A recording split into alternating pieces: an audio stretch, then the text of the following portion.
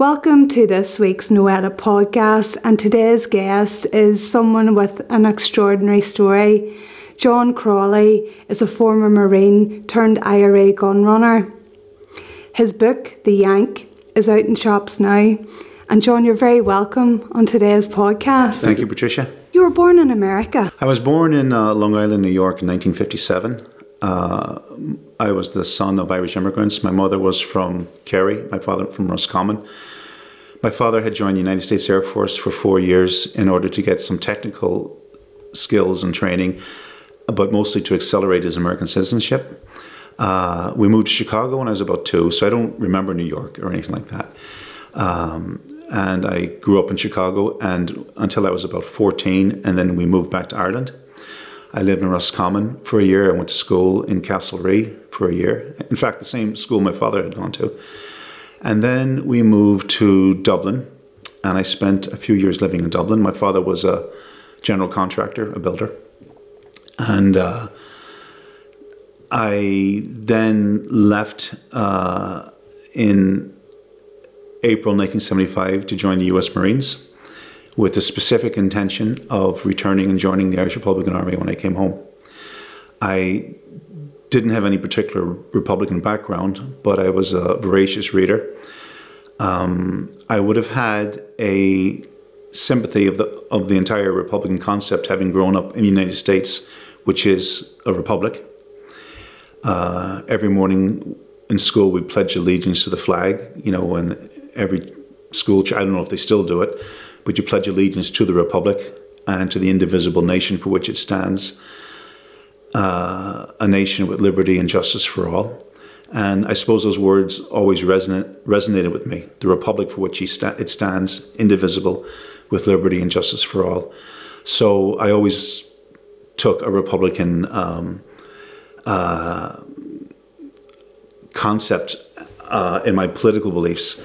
So when I joined the IRA, I joined basically uh, with the high ideals of, of, a Republican and somebody who wanted to fight the British occupation in Ireland and end jurisdiction in this country and build a national democracy within a republic.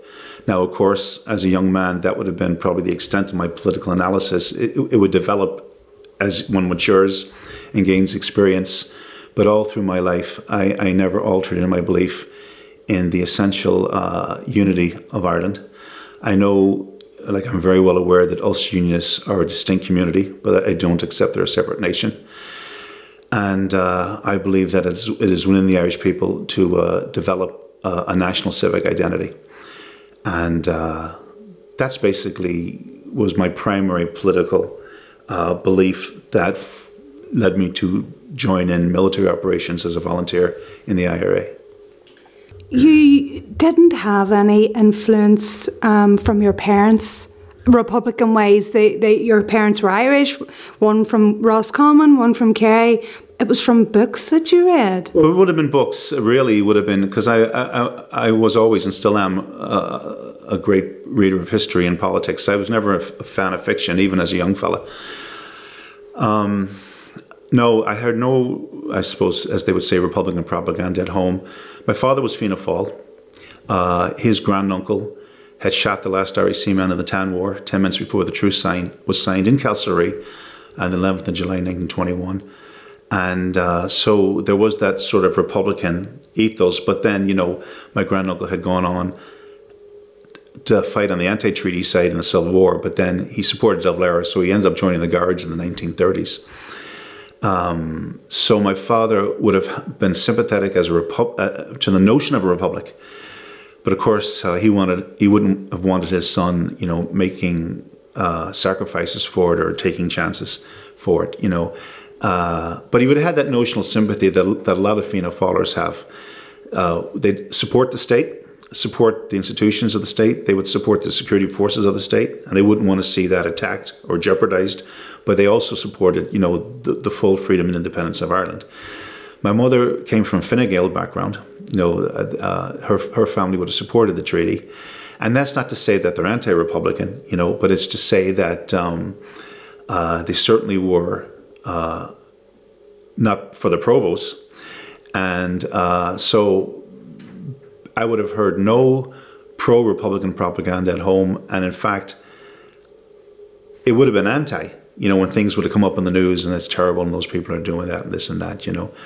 But um, no, I have to say that my, I, I, developed my politics myself. I had no influence, you know. I remember uh, a branch man saying to me one time in, in, the South, you know, you were probably from a, a respectable family, but you were brainwashed by some evil bastard. And I was wondering who this evil bastard was because I hadn't met him, you know. So, you know, it, it, that was basically it. I mean, sometimes people they come to a belief, and I think with the situation in Ireland is and has always been is you have three choices really. Uh, when there's a conflict on, you, you stand idly by, you actively collaborate, or you resist. And I made my decision. So you would have been about 12, 13 when in 1969 there was the Battle of the Bogside. Mm-hmm. Things really started to, you know, yeah. break out. Violence broke out yeah. in the north. Yeah. Do you remember seeing that on the news? Would it have been on the news? Absolutely. It was on the news in America. And I didn't really understand about the situation at that age. And all I heard was Catholics and Protestants were fighting each other.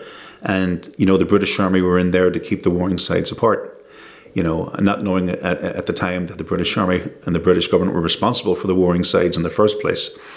But yes, it would have been plenty about it on the news, and uh, but I had no real understanding of it. It's only when I came to Ireland really, uh, as a young teenager, and was talking to people, and it's it's it's sort of funny the way I first found that cleavage in Irish people of how they fall on a situation because I remember being in a house one time down the country, and the people, uh, I saw a monument to some IRA men who had been killed by the by the Tans. Two IRA men were, were were killed by the Black and Tans or the RIC, and so I was asking about it. What's this about? You know, and in one house, uh, which would have been. Um, I, I, think a sort of Fianna Fáil house, they were saying, oh, you know, the Tans come in, murdered those men. Those men were fighting for their country and they were killed by the British and all this. excuse me, but I remember being in another house uh, and talking about it, and they had a completely different take. And I believe they were like in a Fine Gael house, and they were more or less saying that it was terrible the way people had to get up out of their beds and hide in fields because of the tans. And if the IRA hadn't been there and hadn't been doing anything, you know, they wouldn't have brought this disturbance on us. So it was a completely different take on it. One saw the IRA as freedom fighters the others saw them as as nuisances who were you know disturbing the, their their quiet life and their quiet equilibrium. So uh, while things aren't that simple or that binary, I do find that tendency in a lot of Irish people. You know. Mm-hmm. And John, when you were in America. Mm-hmm. Were you able to speak to like minded people? Was there a sympathy there for the IRA and what was going on? There was initially, there was initially uh, among the Irish community over there. I would have found listening to people from all walks of life, and most of the people I would have known over there were from the south of Ireland. They were Mayo people, Roscommon people, Kerry people. They weren't from the north. I don't think I knew any northern people. But you know, as time went on, uh, and you had you know incidents happening and civilians being killed, people sort of turned. They sort of turned, and it, it got much less supportive. And I think as the, the struggle dragged on, there was a sort of you know weariness with it. So I found that people who would have been maybe supportive in an emotional way at the beginning gradually sort of became disillusioned, you know, over various things that were happening. And uh, but there was always a, a, a core of support there. But I have to say that. Um, like my family were never in Noraid or any support organizations. I mean, any Americans that I met as a young man weren't, you know, strident Republican supporters by any means. But I found there was very few Irish people that didn't have a notional sympathy with the idea of Ireland being a fully independent country. None of them, I met no, nobody that ever said the, the Brits should be in Ireland, but very few would say you should do anything about it. On the other hand, you know, certainly nothing uh, to do with arms and, and uh, armed struggle. So it's just it's just you know that's the way it is. I mean, uh, you know, in any situation, and I often think of the situation in France. I read a lot about the French Resistance, and you know, two percent of the French population resisted, and 98% didn't, because it's it's just, and you find that it's totally understandable. People want to live, people want to survive, and they want to get on with their lives. And people who resist uh, are, are, a very small minority in, in, any country at any time. So you joined the Marines, yeah. and, and you have said that your goal was to get trained up and then go home. And join the IRA. It, yeah, yeah always home to me, yeah. Yeah, yeah. yeah. I joined the Marines and uh, I outline in the book how I wanted to join Special Forces. My, my cousin Ken Crawley in the States had been in the Green Berets, the United States Army Special Forces, and I intended to join them. But uh, my uncle Mike, who'd been in, from County Kerry, my granduncle Mike, had fought in the U.S. Navy in the Second World War, and he was very impressed with the Marines. And he was saying to me, "Well, you know, if you're going to join the military and do it right, the Marines are your only man." And uh, so to kind of keep him happy, I went to see a recruiter a Marine recruiter, and I says, "Look, you know the Marines are good and all, but you know you don't have special forces like the Army." And he says, well, "We have the best special forces of all, Marine Recon." And he went into this big spiel. But anyway, I describe in the book how I ended up joining the Marines and how I ended up eventually getting into recon, and I eventually became an instructor with reconnaissance teams. So, but there's one thing that I, you know I have to make clear is I didn't join the Marines with this like you know, this view that I was going to come home and change the IRA for the better and make everything, you know, uh, more professional. I thought the IRA was this professional guerrilla organization that I kept hearing about, the most highly trained guerrilla organization in the world, the most, you know, the most sophisticated group, and I believe that. when I was home, when I got my first leave home from the Marines in Christmas 1978, I remember on the news uh, there was a, an IRA attack in Crossmaglen in which three British soldiers were shot in the square by volunteers in the back of a van. And while I don't, you know, I don't, I don't rejoice in the death of anybody, it was to me it was an act of uh, real resistance against the hardest of hard targets in the hardest of hard areas. I mean, for them men to go into Crossmaglen into the heart of that square and shoot dead three British soldiers under the nose of the barracks and get away, to me, was an act of phenomenal courage and resistance. So I have to say that I didn't have the opinion that the IRA needed my help. I did not think the IRA needed my help, and that's not why I joined. I joined the Marines to enhance my own professional development, and if I could help in any way when I come back, I would. But I really didn't believe that I was going to be some character that was going to change the IRA because I didn't think they needed. it. I really believed the IRA was this professional, you know, uh, group. And it was only when I joined that I started to find out that things weren't quite what I thought. That um, very few people had professional training. Uh, some of the people uh, in charge were very amateurish. Uh, some people in charge were there because they were what I would consider a safe pair of hands. In other words, they would carry stories to leadership. They would, uh, you know, follow. They were spokes in the wheel. Whatever way the wheel turned, they would turn. There were there weren't that many people with the um, technical ability and tactical competence to bring things to where I believe they could have gone. Having said that, you know, uh, there were men there in areas who were far more uh, better volunteers than I would would ever be. Uh, were on far more military operations and far more effective than I could ever hope to be. You know, that's absolutely the case. But generally, generally, there was this amateurish, amateurishness and a lack of military knowledge and skill and I saw no need for it because it was very easily uh, fixed. The problems I saw were very easily fixed because it was easy to do things the right way. If you were procuring arms or training people, you know, it's as easy to do it the right way as the wrong way. And I noticed that when I brought some of my concerns to various people at a leadership level, I was more or less, I had the impression I was annoying them, really annoying them. They didn't want to hear it. Uh, whereas on the ground level, with volunteers on the ground, I always got a terrific reception. I mean, the guys doing the fighting wanted to be the best and most effective they could be against the military. I mean, I make no bones, no apologies that I felt we should fight the British military, and uh, and do everything we could to be as careful as we could, so that you know we didn't endanger civilians or do anything that would bring disgrace or shame upon our, our, our struggle because nobody uh, wanted to. Uh, nobody wanted to. Everybody wanted to be part of a professional group of um, patriots, right? That's that's how you wanted to perceive yourself. And when things went badly wrong, or things that would happen that would embarrass you, you not only it was because it was morally wrong, but because it was um, it was politically wrong. And you know, you need to be inspired. To in struggle, you need to be inspired, and it's hard to be inspired unless you're doing inspiring things. So, what year did you actually join the IRA, and how on earth did an American who no one seemed to, to know end up becoming a member of the IRA? That couldn't have been. Well, I described that in the book, but I, I joined in 1980. I got out of the Marines in May 1979. In fact, I got out of the Marines on the 29th of May 1979 at 8 in the morning, and at 2 o'clock I was on a connecting flight home for Ireland. Uh, I was on a mission. so, so that's the next problem. Uh, unlike the Marines, which had, which had recruiting offices, the IRA didn't. The IRA was an illegal organization in Ireland and in, and in the UK. And uh, the question was, how do you join a secret army when you don't know anybody in it?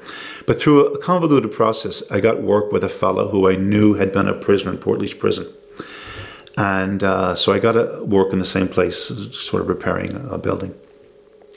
And uh, of course, I latched onto him, and rapidly, you know, he guessed my intention within days what I wanted to do, and he actually advised me against it. Uh, I actually remember him saying that he didn't believe that the leadership in Belfast or Derry could be trusted. I had no idea what he meant by that, and I thought it was somebody making an excuse to justify his own retirement from the struggle. So I brushed that off. Uh, but you know, I persisted and persisted, and eventually uh, he must have told somebody, you know, this guy was really keen. So a Tyrone man approached me one day, and uh, it took a couple of weeks of interviews and meeting people, and then I was asked to go down one day to John Joe McGirl's pub in Ballinamore and Leitrim, and uh, I was sitting in uh, a little room between the bar and the kitchen, and John Joe came in smoking a pipe and he just threw the green book on my lap and he said, "Read that." So that was the you know that was the the, the start of the uh, formally swearing me into the organization. And what age were you then? I was twenty three. Twenty three.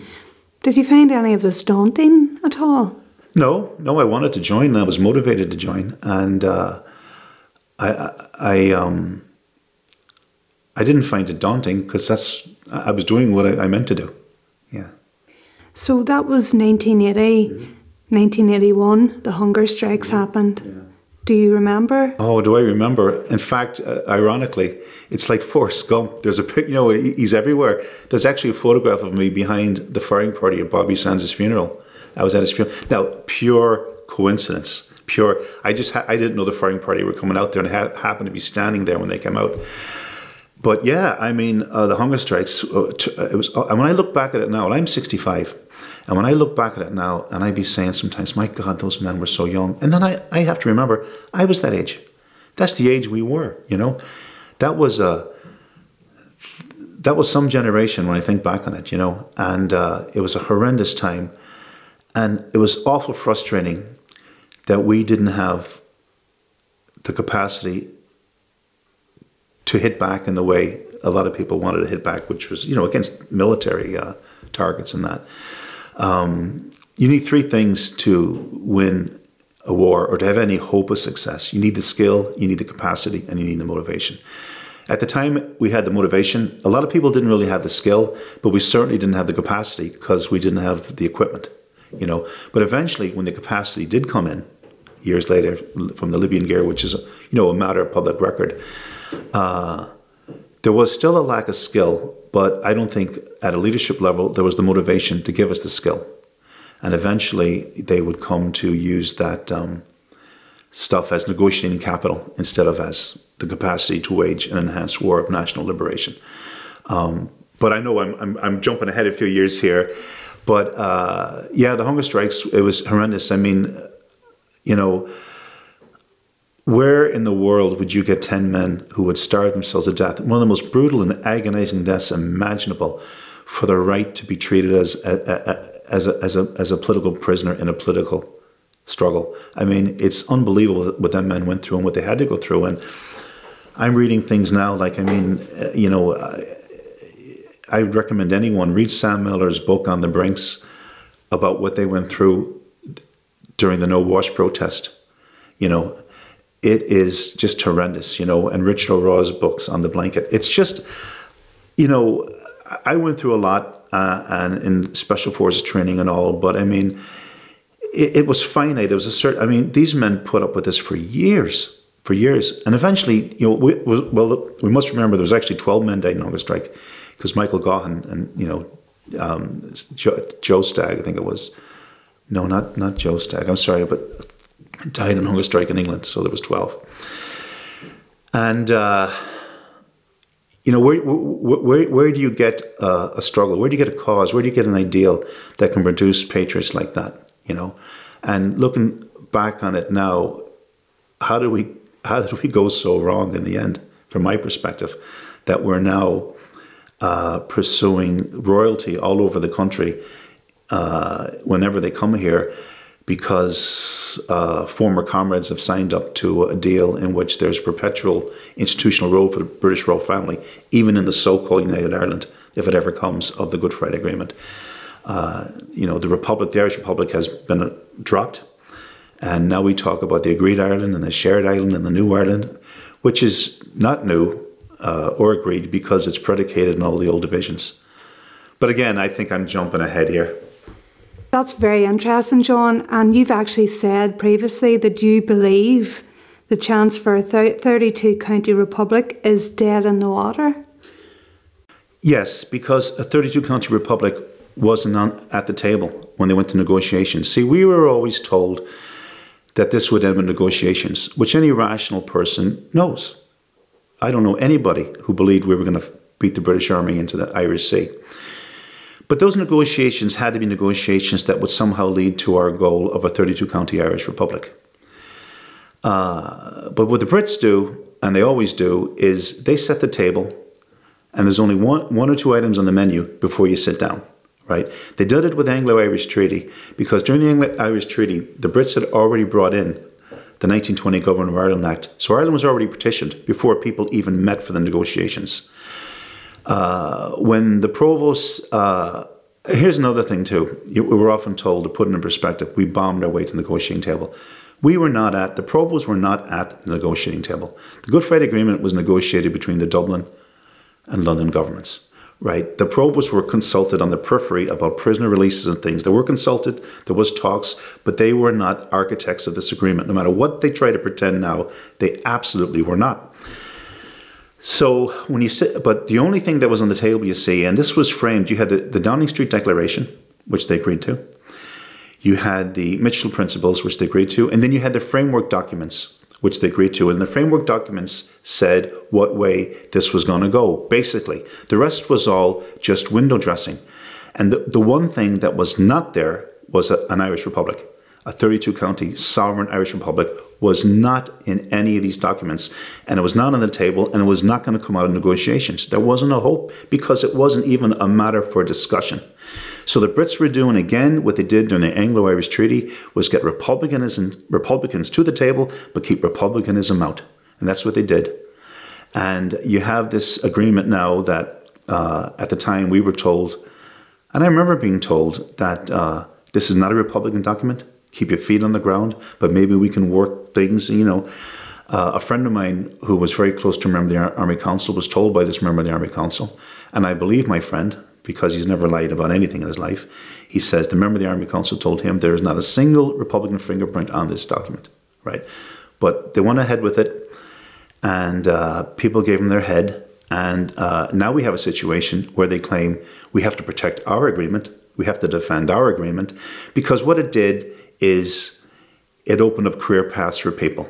And it eventually became an end in itself, which is what many of us said is going to happen. If you get tied into this, you know, you're going to open up career paths for people, you're going to tempt careerists with careers, and people aren't going to want to rock the boat or anything like that, you know, so. But I want to make it very clear because when I talk about being, you know, against the Good Friday Agreement, which I am, because I'm for the Irish Republic, I am not, when we talk about the peace process, I am not against the peace. I am not against the peace. I'm totally supportive of the peace, and I don't believe there's any one at the minute has the ability or skill or capacity to wage a war that would bring uh, the British jurisdiction in Ireland to a speedy and successful conclusion. It is not there. You would have no support for it, and nobody would understand it, right? But I think I'm entitled to be critical of a process that cannot lead to Republican goals of an Irish Republic. Because the Irish Republic, for, for uh, since its inception, and Irish Republican was begun by Protestants. I mean, the, the United Irishmen were formed in 1791 by 28 Protestants. 26 were Northern uh, Presbyterians, and two were Anglicans, Wolfe Tone and Thomas Russell. And their proposition was to break the connection with England and to forge a national, a joint civic identity uh, to, to overcome the sectarian divisions, right? Uh, where we are now is we have this uh, so called border poll that will lead to uh, a so called United Ireland that trades geographical unity for continuing civic division because it says you can remain British or Irish. Uh, and Sinn Féin is chasing royalty all over the place because what they're saying is there's a continued institutional point of reference for uh, unionists in a continuing link with the Crown. See, we were supposed to break the connection with England. We weren't supposed to enhance it. We were supposed to forge a joint civic identity, not keep the sectarian division intact in the so-called United Ireland. So I don't, you know, see how any Republican could uh, be happy with that situation. But the thing is, you see, what I learned in time was people were fighting for two different things, basically. Some people in the IRA were fighting to get rid of the Orange State more than anything else. Uh, and uh, when they got rid of the Orange State, they were able to drink the Kool Aid on the Good Friday Agreement and go on British pay, pay and pension, uh, act as junior partners for the British government, and that. But I'm sorry, and then people who are like myself, whose primary focus was fighting the British state, are in an unhappy place right now because the British state is still in control here. They're still. Would here. you say then, John, that some Republicans probably knew that a united Ireland may not be possible, but were happy enough just to get rid of the orange state, as you called it? Well, I think I think they thought a united Ireland was possible, but they must have known that the Irish Republic wasn't was not possible. You know, and that and I'm an Irish Republican, and that's what, what I wanted. But you see, it, it, they're talking about this shared island. You know, one of the things about the Good Friday Agreement that annoys me is what happened to our country. It's this island now. Nobody talks about our country. Uh, and sharing it with what? Sharing it with British colonial mistakes, sharing it with uh, British colonial divisions that they've planted here. I mean, I don't, I don't want to share Ireland with that. I want to unite with uh, with uh, all sections of the community uh, from all persuasions under the common name of Irishman. And you know, I grew up in, the, in America, in the American Republic, and uh, the motto on its official seal is e pluribus unum, which is Latin for from many, one. And what they mean by that is, you know, you, you had your Irish neighborhoods and your St. Patrick's Day, and you have your uh, Italian neighborhoods and your St. Joseph's Day, you have your African American, you have your Martin Luther King Day, you have your culture, you have your diversity, you have your difference, and you can cherish that. But you have one common citizenship. And uh, under the Irish Republic, nobody would be asking, you know, there's no question that Ulster Unionists in particular are, are, are, a distinct community. Nobody would deny that. And nobody would deny that they have, uh, you know, rights as a community. But I don't believe they have the right to be called another nation. And, uh, you know, even Asquith, Churchill, um, uh, Lloyd George at the time were saying there's no way that Unionists are a separate nation. Although then when it suited them, you know, all of a sudden they became an, another nation. Uh, I saw in the news this morning that Prince Charles is visiting the four nations of the UK. Well, surely he's visiting the five nations of the UK because there's England, Scotland, Wales, and the two, na- two nations in Ireland. And it's strange how, you know, uh, Ireland, Ireland is uh, one nation under British rule, But once we start talking about Irish unity, it's suddenly two nations. And another question I often ask is how come the desire for to build a national democracy within a, a united republic is an aspiration, but the unionist veto is a right. So there's all these these issues in the mix. What do you believe would have achieved what you saw as an Irish Republic? Was it the continuation of violence, or you know, how do you think? Not, not, not, not the continuation for the sake of continuation. Not to fight a war as some sort of emotional relief because you think you know uh, there's no other way. But I mean, we had the capacity at the time. I believe, to bring the struggle to a point that would have put the British to the negotiating table where the Irish Republic would have been on the table. And I firmly believe that. And a lot of people that I know and respect believe that. And that's what we should have done. But instead, you know, things were allowed to dribble on, dribble on, dribble on until people were so worn out they would accept nearly anything. You know, so and I think that you know I think the dark hand of British intelligence was in there too, in the mix, helping to uh, helping to massage things in that direction. So you know, I'm not for war per se for the sake of war, but when the war was on and we were and we were at the war, I believe we should have pursued it in a way that would have brought the British to, as I said, to, I'm probably repeating myself, but the Irish Republic should have been on the table. And when it's not, like, where are you going? But no, to simply continue a war for the sake of it, with no end in sight, no thing, no, no, no rational person would would accept that, you know. But uh, you know, in a lot of ways, I mean, there shouldn't be a need for war at any stage because, uh, according to um, the demographics, uh, I believe that unionists are, are majority now in only two of the 30, 32 counties of Ireland. So the vast majority of Irish people, you know, would want probably would probably say, I'd imagine, I do believe actually that if you said to Irish people on a 32 county poll, do you believe that Irish constitutional authority should reside with the Irish people? or do you believe it, it reside some way in the British Crown? I think, you know, I think I know what the answer would, would be. And we have to remember too that partition wasn't brought in to protect the democratic right of unionists. Partition was brought in to deny the democratic democratic right to Ireland as a whole to be one country.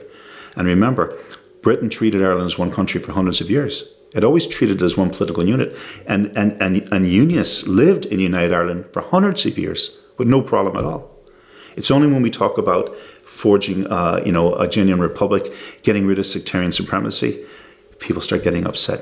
Your book, um, John the Yank, very, very powerful memoirs going from before you joined the IRA, when you were in the IRA, and after the IRA. And I mean, your journey with the IRA was in 1980 when you came to Ireland and you joined. When you were joining, you must have known that there was a possibility that you would be sent out to take someone's life. You know, had yeah. had you thought yeah. about that? Of course, I didn't. and uh, I well, I mean, you know, I, I was a soldier, and all combatants on all sides of conflict kill, and uh, of course, I was aware of that. So, I mean, I had to make a decision. Uh, don't take that moral leap, save my own skin, or resist an armed group of gunmen who were quite willing to kill Irish people, you know, to maintain British rule in this country. So I believe, you know, that, you know, I, I made the right decision. And, you know, whether or not, you know, uh, I'm not going to discuss operation. I discuss one operation in the book, right? Well, I write of an incident that the British say never happened. And I'm just going to leave it at that. They say it didn't happen, and that's fine with me. Very interesting. Any, any, anybody reading the book will, you know. Yeah. But uh, as far as I'm concerned, you know, uh, they say it didn't happen. That's fine. But to ask for my own personal uh, view on it, um, I would rather um, I would rather have resisted than not resisted. And I'm glad I did. And I'm very proud and very proud of the men and women, the vast majority that I served with. And uh, I only wish that, you know, we had the leadership that they deserved. I think we'd be in a different place today. Your book also goes into, you know, various incidents. And I mean, my goodness, it's nearly like a film script, John I mean, you've had dealings with Boston based um, Irish American gangster James Whitey Bulger. You were involved in a huge arms shipment. You almost lost your life during that, that boat ride from America to Ireland. Um, you were arrested. You've been in jail twice for two different operations. The first one, the shipment. The second one was when you were involved in a plot to blow up um, the electricity network in, in London. How did you put all this down in, in, in one book? I mean, did it take long? Did it? And, and how did No. you feel about doing that? Because Well, you see, I, I never had an intention of writing a memoir. And having done that, that sounds a bit daft. But see, I wrote a, a novel. I spent about three years on it. And I thought it was pretty good, to be honest with you. But then I would, wouldn't I? But uh, when I was trying to get it published, I, uh, I uh, was having difficulty because the American publishers and uh, there was a fellow there was a Hollywood screenwriter and all, and he was coming back and he was saying, "My God, your story. We want to hear your story, your story." And then uh, the hell with the novel. And I was saying, "Well, a lot of my story is in the novel, but it, names are changing also, and I could be more free." And um, but anyway, to make a long story short, I canvassed some Republicans who I really trust. You know, Republicans who would have, you know, you know, and they were very encouraging, very encouraging, because and my question was, how can I write a memoir without incriminating myself or anybody else, which I'm not going to do. As I said, I didn't keep my mouth shut in the barracks to spill my guts now. Now, I'm, I'm not, I wasn't going to write a kiss and tell. But, and I hope I managed to do that. But you, you talk about me writing about things in the book, but but everything I write in the book, there, there's one there's one thing there that the Brits say never happened. Okay, happy days, right? The rest of the stuff I was either caught on, or in, in, in, on trial for, or charged with. It's all a matter of public record. I have said nothing in the book about anything that I may or may not have been involved in. That's not a matter of public record. So, you know, it's it's not an issue. I haven't named names. You know, and, and, and I don't. I haven't named names. I mentioned Martin McGuinness, but Martin McGuinness was the man who sent me to the states, and Martin McGuinness, unfortunately, and you know, I, I'm sorry to hear that he passed away. So he can't be charged with IRA membership. So I, I'm, I, I'm not. I can't incriminate the man. Uh, but I mean, you know, there's loads of other people that I haven't named for that very reason. I, there's no way I'm going to incriminate anyway. And I, I hope I haven't incriminated myself. I don't think I have, but, you know, it's early days. Tell me about Martin McGuinness. Um, like you say, he was the man who sent you mm-hmm. back to the States Yeah. to get guns. Yeah. yeah. How did you meet him? Well, he, he he called for me. He heard about me and he called for me. And again, with John Joes again. John Joes was sort of very central on the border. No matter where you were, I mean, just because I you know I was going to John Joes doesn't mean I was in that area. I could have been anywhere, but you'd be called to John Joes. John was a good man, a very very trusted Republican, very very sound, dedicated Fenian. And uh, for some reason, Martin McGuinness uh, asked for me. I went to see him. I was starstruck. You know, I heard all these stories about Martin McGuinness, and I remember actually listening on the radio one day to a British uh, high-ranking officer saying Martin McGuinness was the IRA's greatest military thinker, and that he could have been trained at Sandhurst. He was so capable. So I met him, and clearly Martin was a very intelligent, very you know, uh, urbane fellow. Was able to uh, get very articulate man, you know, but uh, he certainly didn't have the military ability or knowledge that I was led to believe. And uh, when he sent me to the States, uh, what sort of upset me was that he only his only interest in me, the only asset he felt that I could bring to the struggle, was that I had an American accent. You know, I had been an instructor in a special forces unit, and I thought I could provide more help than that.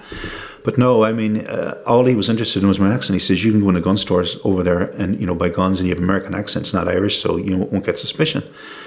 So I actually refused to go. I said I wasn't going. I says, "For Christ's sakes, there's thousands of people over there in American accent, and that you can get, you know." But no, I uh, I was told you're going, so that was it. Now.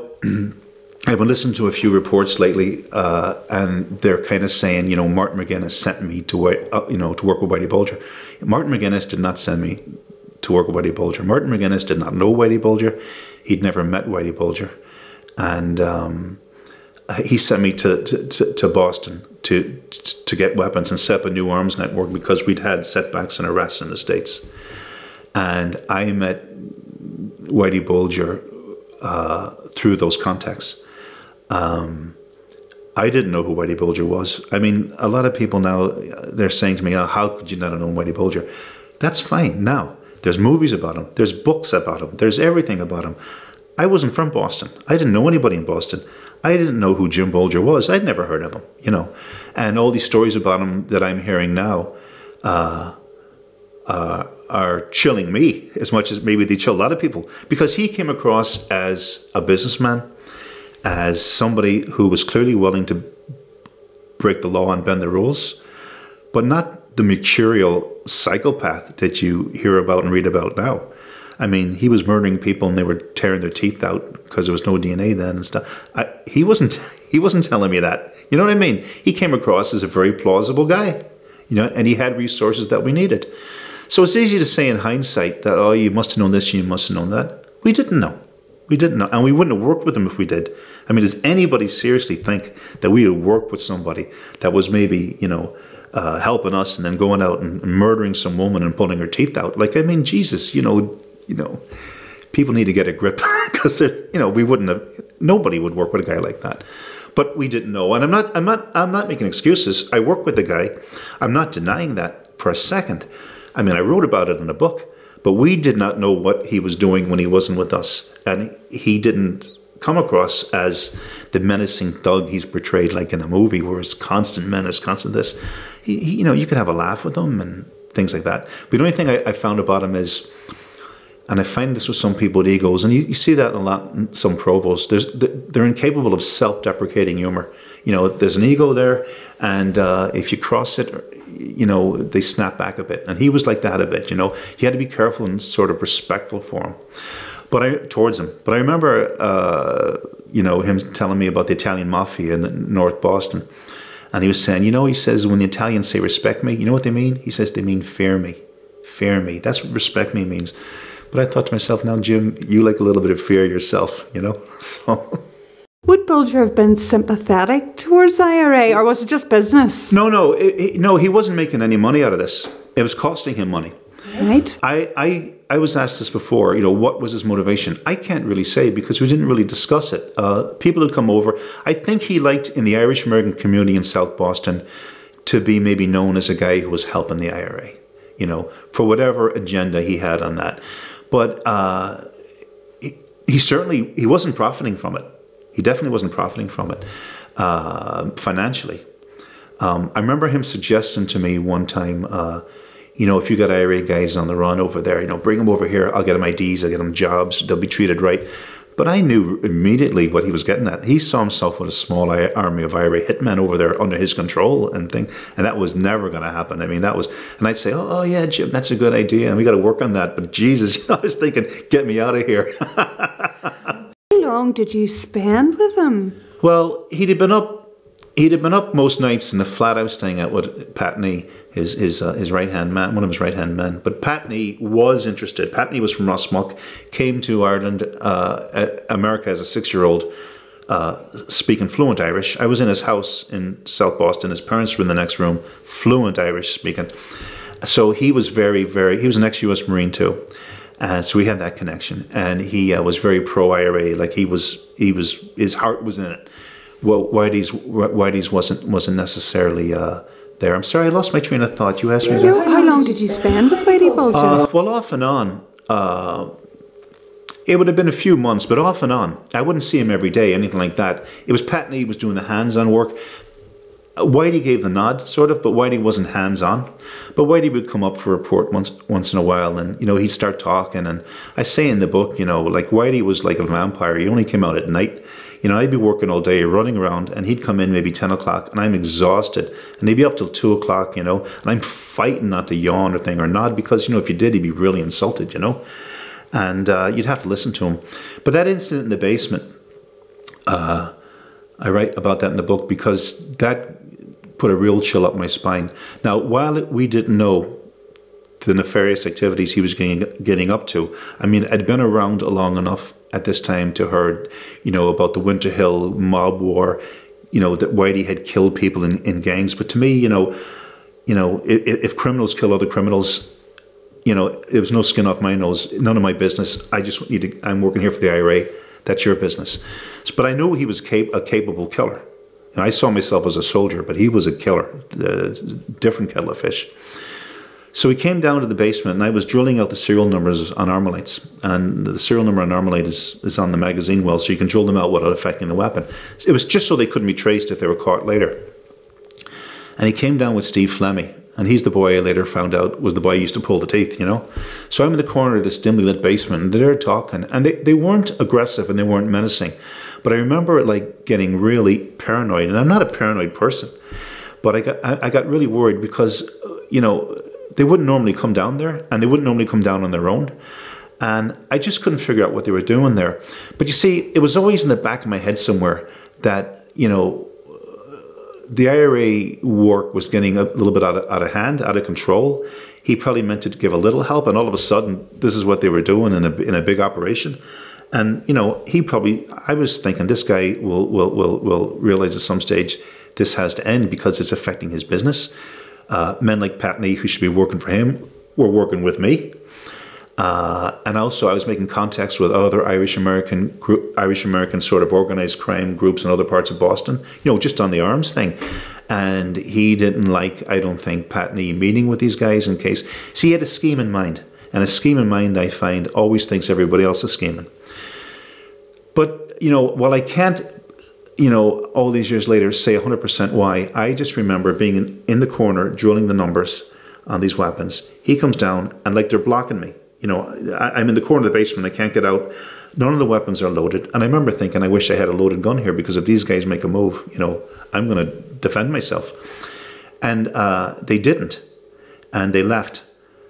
Uh, later on, I learned that John McIntyre was murdered in a basement and their bodies were buried in a basement. Now, since I presume these guys didn't have that many basements, I believe that was the same basement. So there would have been bodies buried under my feet from previous people they murdered, you know? Of course, I didn't know that. I didn't know that. I mean, so much about Whitey I'm learning 20 years after, 30 years after the fact. I didn't know this stuff at the time.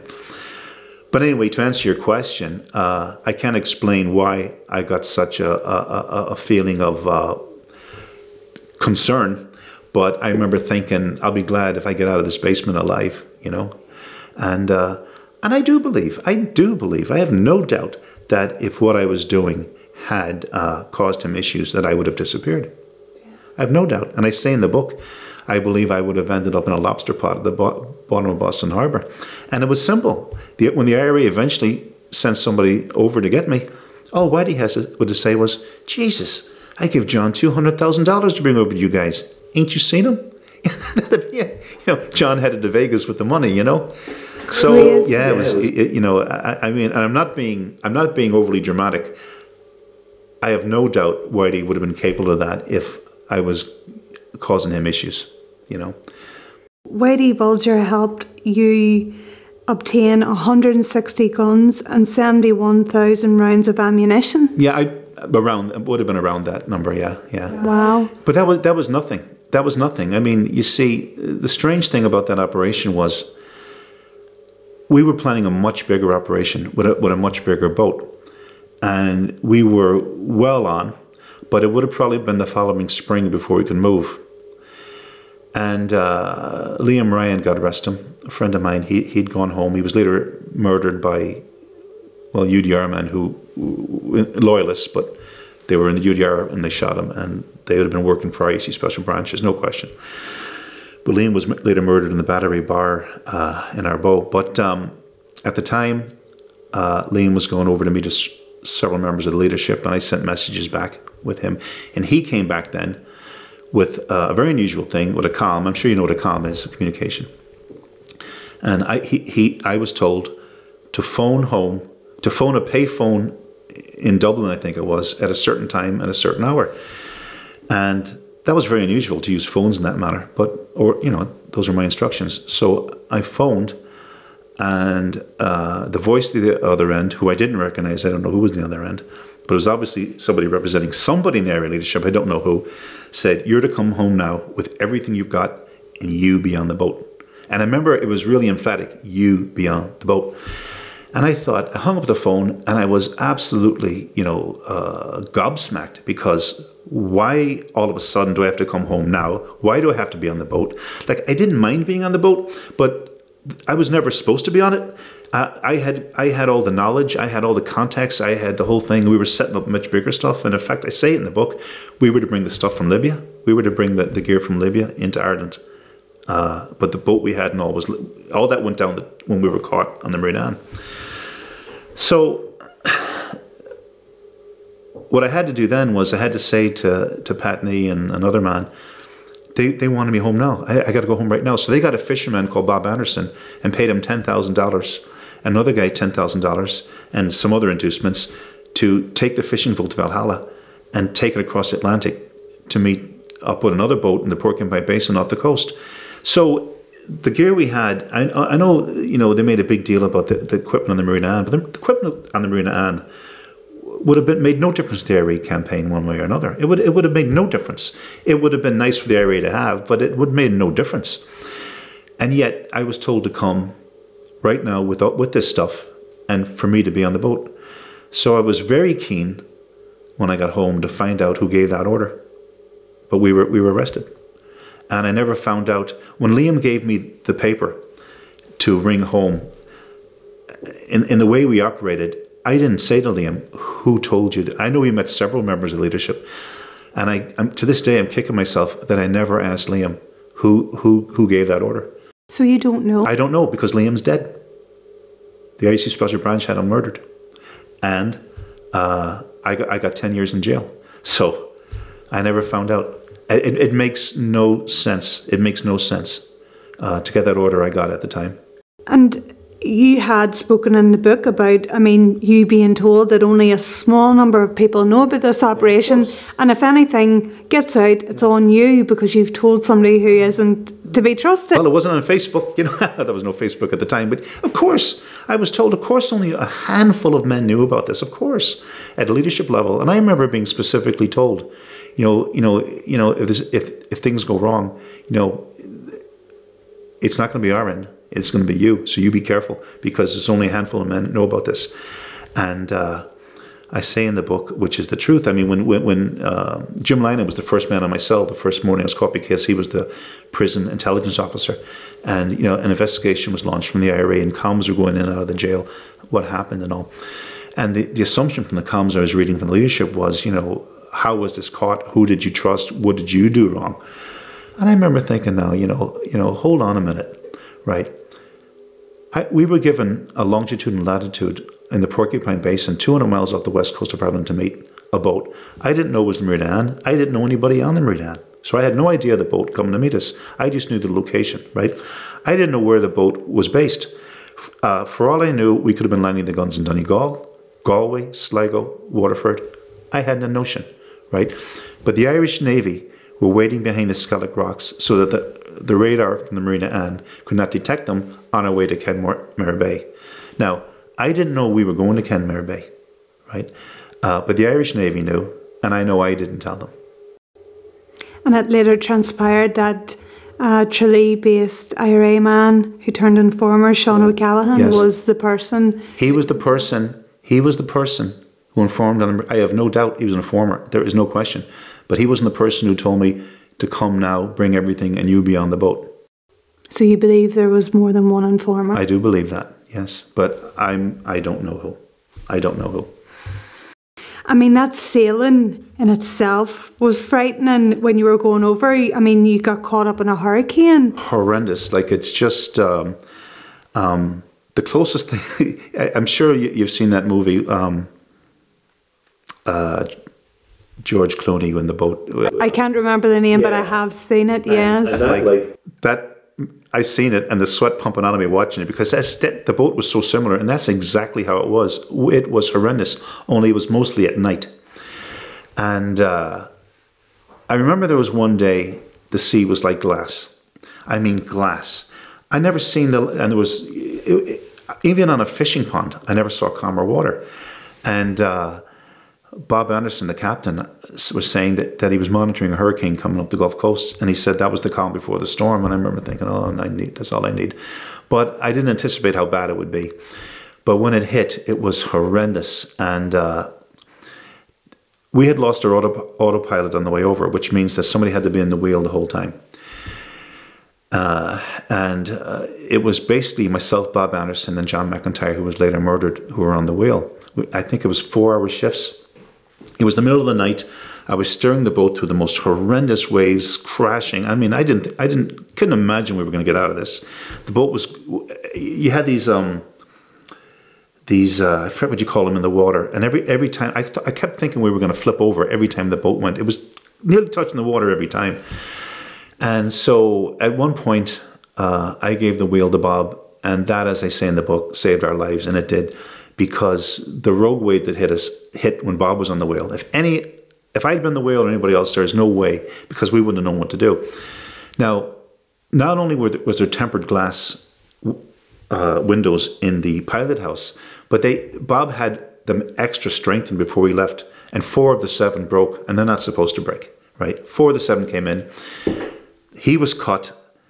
Water went down to the engine room where the guns were stored, caused a short circuit. So it's the picture I got. I still it felt like a car collision. I was in the bunk, couldn't sleep, and I was thrown violently forward like a car collision. I stumbled out of the bunk, out into this little vestibule, and there's water pouring around my ankles. There's smoke pouring up from the engine room and a fire where the guns are. Bob's bleeding like a stuck pig at the wheel, and the windows are gone. Right. And I just think, well, we're dead. We're dead, you know. And I remember thinking, you know, I wonder will my family ever learn what happened to me because nobody knows we're here. But uh, thankfully, Bob's wounds weren't uh, catastrophic. Uh, and he had managed to hold onto the wheel on his knees and somehow steer us out of the spin that would have flipped us. I mean, Bob, he saved our lives. And um, gradually, oh, yes, and, and uh, a point I make in the book is we had brought survival suits. So I know we're going down. And uh, I said to Bob, Bob, should we put on the survival suits? And Bob just looked at me and he gasped through his pain. He just he nearly laughed at me. He says, Nobody knows we're here. You know, we have no communications. We're in the middle of the North Atlantic. He says, Put it on if you want to, but it's just going to take you eight hours longer to die. You know? And I looked at him and I says, There's no point putting it on. Wow. You, know, you know, and we didn't put them on. But I remember thinking that that's and I just couldn't imagine that we were going to survive that night. Uh, one more such wave. I mean, the windows were gone, so we had no hope. But somehow, somehow, the storm eventually abated, and, and we, we, we were able to limp our way on. And uh, we'd lost our communications. We'd lost our, our, our navigation, because it's called LORAN navigation. We brought two of everything, but when the water came in and broke the waves, it short-circuited and it caused... But after two days, John McIntyre, who did sterling work to get us through it, because we couldn't have gone on and met the Meridian because we had no nav- navigation or communication. But after two days, one radio came back and one LORAN navigation device came back. So we were able to continue on our journey. And uh, John was able to get plywood from somewhere. There must have been a storage thing or something. I don't know where he got it, but he was able to plywood up the windows. And we had, I think, three windows left out of seven. So we're half blind staring at it like this, you know. But we, we eventually met up with the Marita Ann. But yeah, it was a horrendous experience now. I tell you, I wouldn't like to do it again. so you were arrested along yeah. with three other people, including uh, Martin Ferris, who went on to become a Sinn Féin TD. Yes. You were sentenced to 10 years in prison, yes. and you spent that in Portlaoise prison. I did, yes. You came out of prison. Yeah. Still a dedicated IRA man? Yeah. Well, mo- mo- most IRA volunteers came out of prison dedicated IRA men, but uh, it was also 10 days after the ceasefire. Really? And uh, I had done every day of my time because I, I, got extra. I got also three years extra for an attempted escape in '85, and uh, between the two remissions, I ended up doing. So I went in in September '84, and I came out in September '94. But it was ten days after the ceasefire. Yeah, that's the first ceasefire. Yeah, first ceasefire. And I remember a lot of people saying to me, "Oh, you got out of the ceasefire." I says, "No, I did every single day of my time." So of course things were in a flux. Didn't know what the hell was going on, and you know, and you know, you know, some people are saying, "Oh, we, we, we brought the Brits to the negotiating table and we fought the Brits to a standstill," and all this delusional nonsense. But again, um, I couldn't get a read on it because you see, I was okay with the ceasefire, and I was okay with as long as it would lead to Republican goals. I mean, you, you, you, if there's a chance to do things peacefully, you have to explore that, and you have to, you know, you have to, you have to to, to, to try that. But um, you also have to reach your goals. You have to reach your political goals, and uh, so uh, one thing led to another, and the ceasefire broke down, and I ended up in England, on active service in England, because me and some other fellas had come up with a plan to uh, disrupt the electricity grid. Uh, we, we, you know, um, earlier attacks in London, such as the Bishopsgate bomb and the and and the um, the bomb at Baltic Exchange uh, in the heart of the London financial centre, had caused more financial and economic damage to England than um, the 10,000 10, explosions in the north during the whole length of the Troubles. And again, we were focusing on you know economic and financial targets, not civilian we wanted to basically make uh, Ireland not worth it for England to stay here, right? And London, I think, controls something like 25, 26% of the gross domestic product for the entire UK. So putting the lights out for any period of time would have cost them, I mean, uh, billions, if not trillions. So that was the plan. And again, we, we, we, we were caught again, and I deeply suspect an informer there. We actually caught on the job or we were arrested at night in, in, in, in, in houses in safe houses over there uh, but we had no um, we had no explosives with us and uh, they tried to say we were this A team sent over by the leadership, you know, to do this and that. We weren't, we weren't sent over by the leadership. The leadership didn't know anything about our operation. You see, people have this real misconception about the IRA that the leadership had some strategy, or they didn't have any strategy that I could see. In fact, they ended up internalizing a British strategy in the Good Friday Agreement. But what the what the leadership would do, and and don't get me wrong, there were some good people in leadership too. I, you know, there were some fine men on that too. Uh, my my my my, uh, my my annoyance is a, is a small handful at the core of it. But there were good men. There were good men there too, and uh, uh men who did more in the struggle than I ever did. So I mean, I cannot take that away from them, right? But um, what the leadership would do was they would decide whether you go to war or have a ceasefire. Once they decide it's war, it's up to the men on the ground, the teams, to use their initiative to fight the war. I mean, so I remember, you know, one time reading somebody said, well, you know, the proof positive that the IRA leadership was never infiltrated by British intelligence is that these operations went off in England. The, the, leadership didn't know anything about this Operations England, no details whatsoever. They would have known Operations in England were going to take place. They would have known that the war was continuing, of course, but they didn't know the specifics of operations. So that you wouldn't have had to have gone to the leadership to get permission to do something like that? No, no. You, you, you, I mean, you knew you you knew what not to do. You know, don't endanger civilians, and it still happened. But you know, but no, you didn't. There, there was what we'd have done is gone to the uh, head of the England department and GHQ staff, who was, in my opinion, one of the, one of the, one of the finest volunteers I ever met.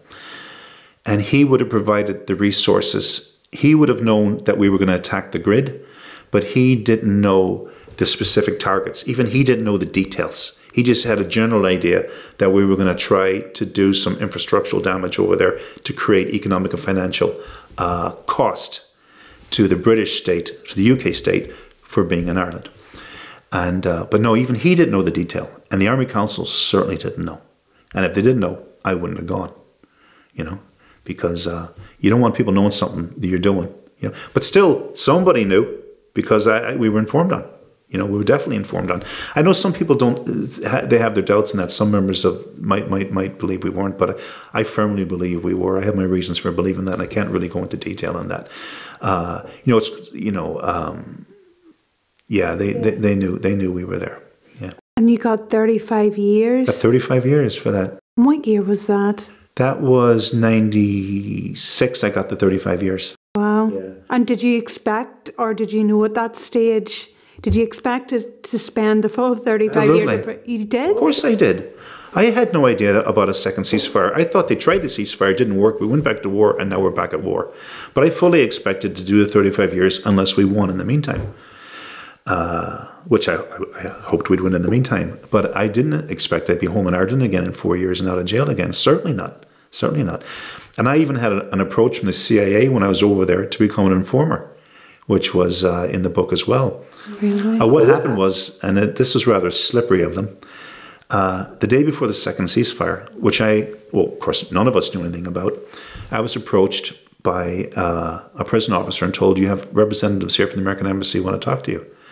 And I said, Okay. I said, But I, my exact answer was, Well, you know, I have nothing against the United States, but I'm a citizen and I'm a soldier of the Irish Republic. I, and uh, if I want to see uh, anybody from an embassy, I'll, I'll, I'll, talk to the to the to the Irish embassy. And even though I mean we had our problems with the Irish government, I still had an Irish passport, you know. So if I had embassy issues, I would deal with them. And so that was fine. He went away, and I thought I was forgot about. But he came back an hour later, and he says, "They told me to tell you you will want to meet with them." And I thought, now this is something. What is this about? And then I thought it was maybe a threat to extradite me to America over the Whitey Bulger thing. And I just couldn't figure what it could possibly be. And uh, uh, I thought, well, extradition doesn't make sense. I'm just starting a 35 year sentence. Unless they're telling me after your 35 years, you're coming over here. I didn't know. So the two of the other lads in the prison I, I spoke to and I asked them their opinion. And he says, now, if you think if, if it's inappropriate, I won't go. And they both said, look, find out what they want. It's no problem. What's going to happen? So I says, okay. So I went out and there was a man and a woman there. And the, ma- the woman who was sitting there projecting an air of absolute contempt towards me, I mean, you could tell she didn't want to be there and she probably would have burned me at the stake. The second guy was very friendly and very personable and very amiable. But she spoke first and asked me, did I have any problems or issues with the prison? I says, no. I says, no, it's, it's great. Food's great. We get plenty to read and all this. You see, I knew what she was getting at. She wanted me whinging and whining and begging to get out there. So I was making out, like, like I said in the book, that I just got a 35 year ticket to the Playboy Mansion.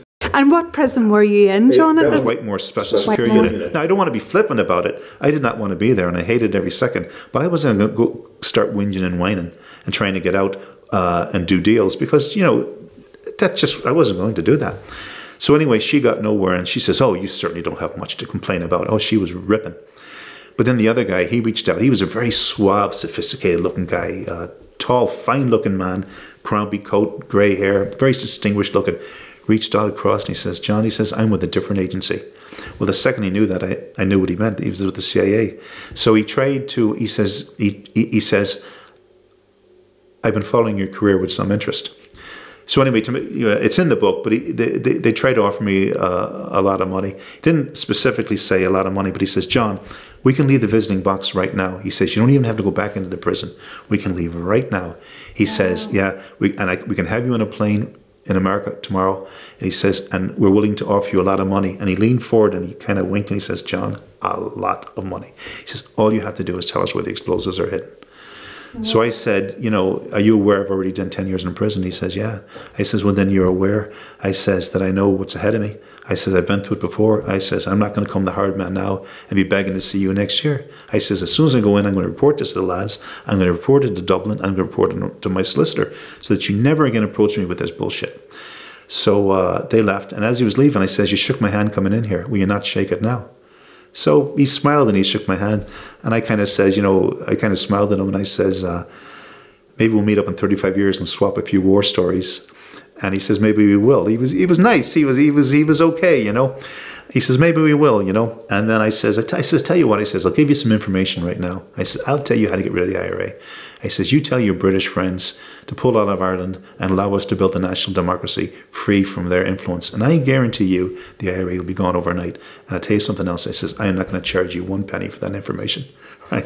And what did he say? He just smiled. He smiled. He just went. And I went in, I reported to the lads. I phoned the Dublin prisoners office in Dublin and reported the attempt to recruit me. And then I phoned my solicitor, Mike Fisher, who I recently learned has died. God rest him, because he was a lovely, lovely man. And I reported that. So, you know, uh, they were never going to approach me again because once you report, you know. And the next day, the IRA called the second ceasefire, which I had no idea was coming. And now I know why they were so anxious to see me on that day because uh, they knew. When I went in there, I thought I was there for 35 years. It's easy in hindsight now, you know, sitting here at the table with you, Patricia, yeah. and talking about this and, you know, sort of maybe half laughing about it. But when I went to see them, as far as I knew, I was doing 35 years in prison. Yeah. So you you came out in 1999, was it? May 2000. Everything had changed, John. Yeah. When did your attitude start changing? Because I mean, you spoke earlier in the podcast about your feelings towards the leadership. Now, Yeah. you know, when did that? You know, I don't want to say transformation, but that change start to happen. When I when I eventually read the Good Friday Agreement, because you see, I didn't read it, and almost everybody that I know that voted for it, they didn't read it either. But when I when I you know I'm not being I'm not being uh, I, I know people read it and said, but I, look at I know lots of people told me they voted for it. No, I never read the freaking thing. You know what I mean? And so when I actually read it and studied it and started to see stuff in that in the British Irish Agreement that you maintain the British Irish thing even into United Ireland, like wh- where where's our democracy? Where, where's our national liberation? If the British can strike deals now that we have to maintain even when we have our so-called independence, it was a lot of things like that. It was a lot of things like that. And uh, it was gradual. Now I just didn't flip flip overnight and say, "Oh my God, this is wrong." It took a long time for the penny to drop, you know. But policing for me was the final straw when when they recognised the lawful authority of a British constabulary in, in our country as the lawful authority, and they were telling people to inform to them, to give them information, things like that.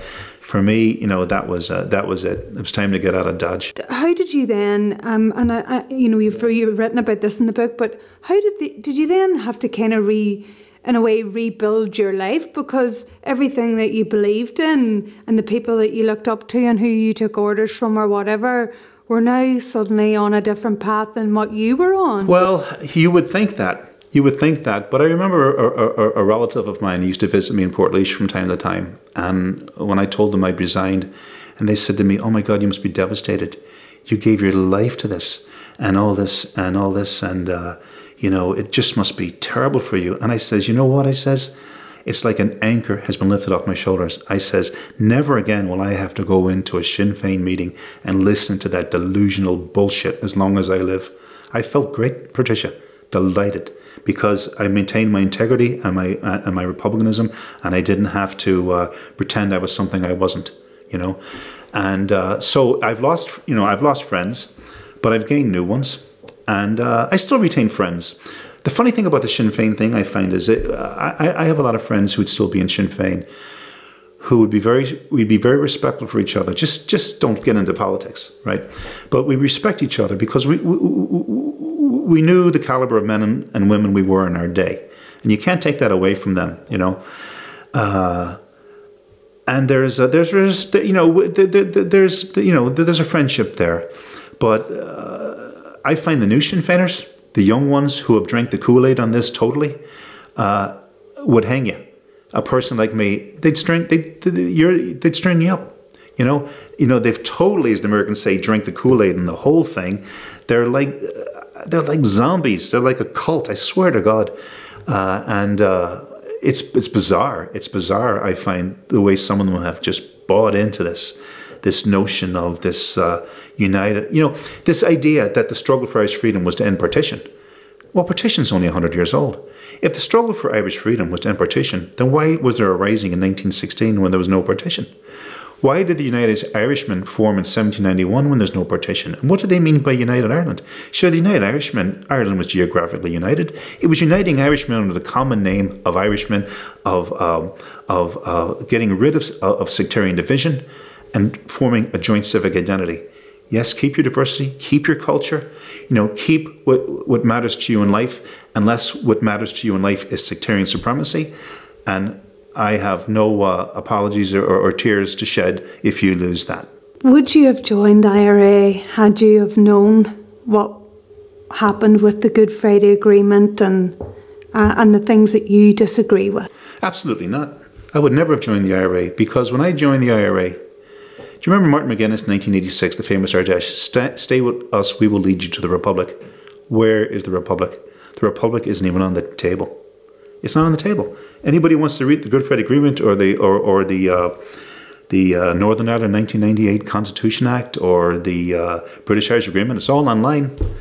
Anybody, if anybody, uh, if anybody can find the Irish Republic and any of that stuff, let me know. I, I'm I'm all ears. You know, no, I wouldn't have. I wouldn't have because um, I'm all okay for. Again, I, you know, I'm for peace. I'm for peace, but um, you know, You see it as a flawed agreement. I see it as a flawed agreement because, uh, you know, because Republican goals are not there, and it was never a Republican goal to unite Ireland with the sectarian dynamic intact, with a section of our people being treated as some post-colonial rump who will maintain this institutional link in some way to the British royal family. You know, uh, that's what Martin McGuinness was saying when he shook the hands of the Queen on Irish soil, a person who. Um, uh, claimed sovereignty in our country and was saying this is about reconciliation. But what, we, what, what are we reconciling ourselves to? We're reconciling ourselves to continue division and to continue. You see, there's a lot, lot of, you know, people like to think, oh, the Irish people fought for their freedom and they did this and this great resistance over hundreds of years. I mean, the vast majority of Irish political culture comes from like uh, the constitutional end or the so-called constitutional end, because there is no British constitution on paper. But you know, um, it's how can we be worthy of a place at the table? How can we make ourselves worthy of self-rule? You know, Daniel O'Connell used to say, "We're ready to become a kind of West Britain if we can just have equality. If we could just be at your table." Uh, Redmond, uh, First World War, will send the manhood of Ireland into the trenches. I had a granduncle killed there in 1916 and, and to prove that we're worthy of self-rule, that we're worthy to sit at the table, and we don't want sovereignty. You know, you, you can't eat a flag. We just want equality within the empire. And now we're sort of back to this, really, which is a, a bigger Irish tradition than ever resistance was. Is we're saying to unionists, how can we be worthy of your presence in our country? How, how can we get rid of the flag? Can we get rid of the anthem?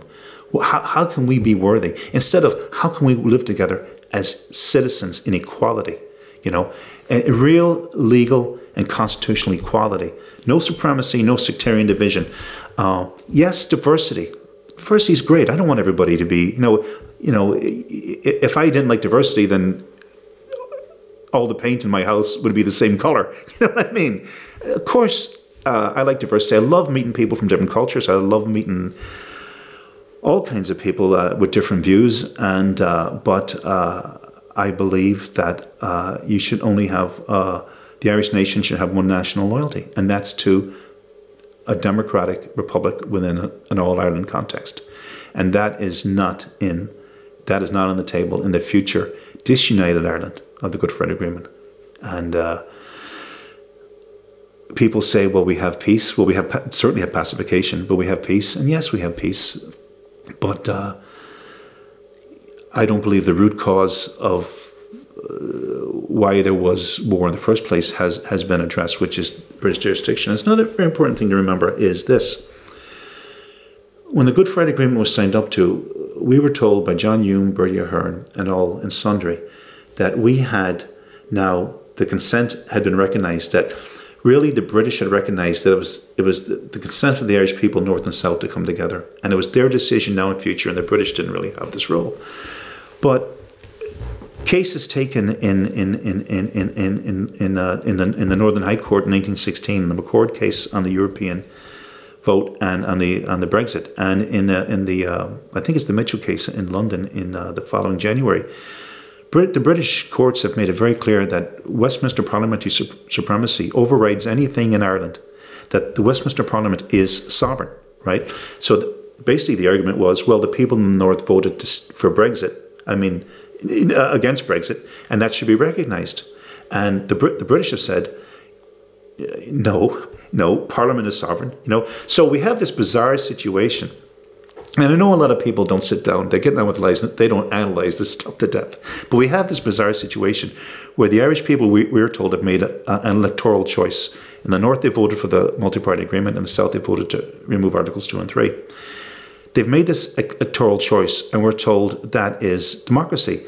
But the British government are the only ones with the power to, to make the political decision. See, on a border poll, any electoral choice the Irish people make is irrelevant because a border poll rests in the gift of a member of the British cabinet, an Englishman who doesn't have one single vote in this country, north or south. That's his decision. So if people say that's democracy, that's fine, but uh, it's not like any democracy I ever heard of. But there you go. John, as a man of peace, you've described yourself. I'm sure you've had a lot of time to reflect over the years of, of what's happened. I mean, during the conflict, the troubles, whatever you want to call it, 3,000 lives were lost. Um, the IRA um, killed many military people, but they also killed innocent civilians, as did other paramilitaries, and as did the security forces. Have you ever reflected on those lives lost? Well, I know a lot of lives that were lost. I mean, I, have lost a lot of friends. And uh, of course, but I take you can take an emotional view of it, and which is good too because it, it uh, you know a kind heart takes an emotional, empathetic view. Of course, it's a human thing, but I sort of also take the strategic view that if the British government weren't interfering in our country, if they keep their nose out of here and quit uh, constantly trying to shape the strategic environment to suit them, you would have had none of this. You would have had none of this. So while the IRA, uh, uh, when it was active, needed to be careful and needed to be cautious, uh, and things had done, and, and, and, bad things happened. The reality of it was none of this would have happened if the British government were in Ireland. And I don't believe that senior British military intelligence security officers are sitting at a table worrying about who they killed over here. You know, I, you know. So at some stage, you just got to, uh, you, you, you, you just got to, uh, you know. It's hard to kind of put into words. It's hard to put put into words because you look at, you know, if somebody if somebody lost a family member killed by the IRA, the IRA is saying they didn't mean to do it. That's only adding insult to injury. You know what I mean? There's no way around that. There is no way to reconcile somebody to uh, the death of a loved one by any organization. I mean, what are they going to say? Oh, it's a, a, good job and I'm glad the boys got away. You know, for Christ's sakes, you know, the reality of it is. But if we could just deal with the root cause that there would never be violence again, which is to build a national civic identity in this country. And, and, and really then build this country. And yes, and I keep saying this, Ulster Unionists are a distinct, they're a distinct community. There's no question. But they're not a separate nation. They should not be treated as a separate nation. And at some stage, we have to become one nation again. And I mean, the song isn't, you know, I mean, Robert Emmet didn't say, let my country take its place among the two nations of the nations of the earth. It was as a nation among the nations of the earth. And he was a Protestant. And there been many Protestant patriots. And while I know that there are people in the north, especially, who on the 12th of July every year celebrate Ireland's defeat celebrated the start of the Protestant ascendancy and all that led to the penal laws, the, the, the, the, landlord system, you know, the, the famine, all the misery that that left in Ireland as a whole. They celebrate that every year. But I'm also aware that republicanism began with Northern Presbyterians. And because in the first instance, they're motivated by plantation Protestantism Protestantism, and and and the second instance they were motivated by Enlightenment Protestantism, right? And uh, I would hope that at some stage the enlightened Protestantism of United Irishmen can one, once again flourish and come to the fore because it has been a tremendous benefit to our country and it's it's inspired me. It's inspired me far more than Catholic nationalism has, which I, I, I actually am repelled by, to be honest with you.